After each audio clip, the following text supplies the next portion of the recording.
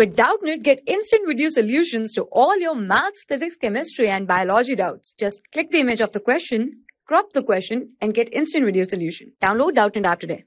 The given question is prove that square root 3 plus square root 5 is an irrational number. Okay. So for prove this, let us assume square root 3 plus square root 5 is a rational number that is equals to a. Okay. So if we square of both sides, squaring squaring both side.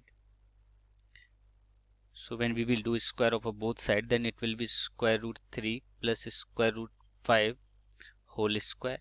Okay and here it is equals to a square. So when we will open up then it will be square root 3 square it is 3 plus square root 5 square here it is 5 and plus 2 square root 3 into square root 5 here it is a square. Okay so 5 plus 3 here it is 8 and if we take this 8 in the right hand side then it will be negative. So here it is a square minus 8 and the remaining is 2 square root 3 into square root 5 okay so if we take a 2 in left hand side then it will be divided. So here it will be a square minus 8 divided by 2 equals to here we can also write it as a square root 15 okay the concept is whenever we have given a square root a into square root b then we can also write it as a square root ab okay so by using this concept here we have write 15 okay so here in the given question we assume a is a rational number and here it is 8 is also rational number and 2 is also rational number.